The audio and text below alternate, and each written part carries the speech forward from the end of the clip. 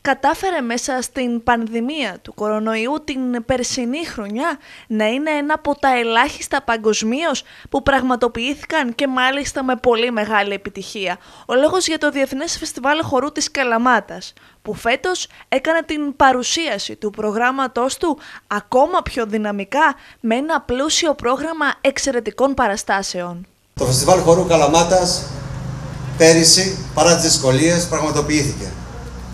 Θα θυμόμαστε όλοι τα βουρκωμένα μάτια της καλλιτεχνικής διευθύντριας τότε που ανακοίνωνε ότι θα γίνει το 26ο Διεθνές Φεστιβάλ Χορού Καλαμάτας. Το φεστιβάλ βέβαια Χορού Καλαμάτα συνεχίζει το ταξίδι του και προσθέτει συνεχώς και μάχια στο σύγχρονο ψηφιδωτό του πολιτισμού.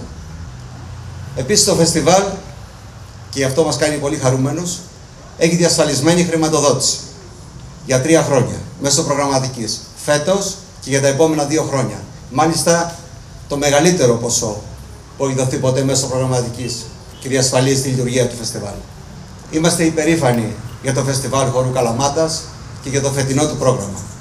31 συνολικά παραγωγές, 18 ξένες ομάδες από τις οποίες οι 14 έρχονται για πρώτη φορά στην Ελλάδα, τρεις παγκόσμιες πρεμιέρες εξακτήνωση των παραστάσεων στην περιφέρεια Πελοποννήσου, ισχυρές νέες συνεργασίες και ένα πλούσιο εκπαιδευτικό πρόγραμμα για επαγγελματίες αλλά και για τους κατοίκους της Καλαμάτας.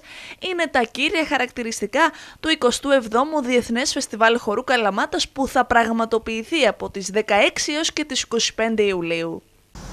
Το μήνυμά μας προς όλο το κοινό και τους καλλιτέχνες ήταν και παραμένει ότι θέλουμε να κρατήσουμε ζωντανή τη σχέση μας με την τέχνη.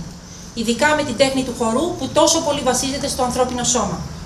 Το πετύχαμε πέρυσι και θα το προσπαθήσουμε με όλες μας τις δυνάμεις και φέτος. Καθώς θεωρούμε ότι η εμπειρία παρακολούθησης μιας παράστασης με φυσική παρουσία είναι αναντικατάστατη.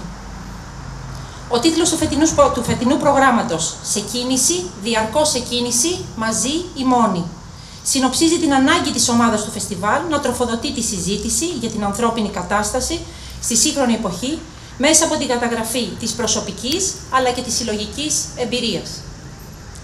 Το φετινό θέμα μας για τη σημασία της κοινότητας και το ρόλο του κάθε προσώπου μέσα σε αυτή αφορά τη συνύπαρξη ανθρώπων παντού και πάντα